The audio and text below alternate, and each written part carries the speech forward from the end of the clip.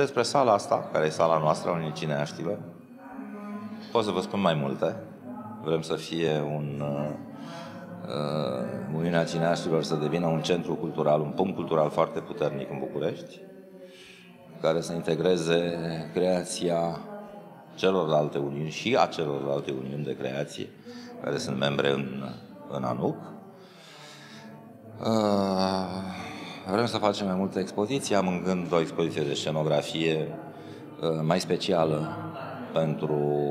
pe care să o vernisăm la gala premiilor Uniunii Cineaștilor de anul ăsta.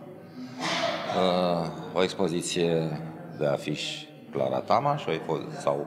și o expoziție de afiș Stendhal, cei mai mari creatori de afiș ai noștri, o expoziție de afișe pentru filme românești,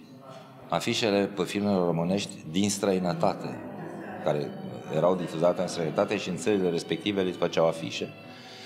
care să fie combinată cu, relansa, cu lansarea celei de-a doua ediții a, a albumului de afișe de filme românești în străinătate, care album este opera lui Chris Landry, un regizor american care trăiește în România. Și să invităm membrii ai Uniunilor de Creație din, din cadrul ANUC să vină, să vadă spațiu și să își uh, conceapă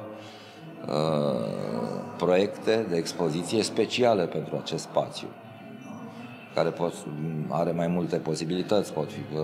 poate fi transformat într-un spațiu multimedia, de exemplu. Uh, tineri studenți de la UNIATF care să facă expoziții de fotografie, uh, tineri studenți de la arte plastice, de la scenografie, de la pictură monumentală,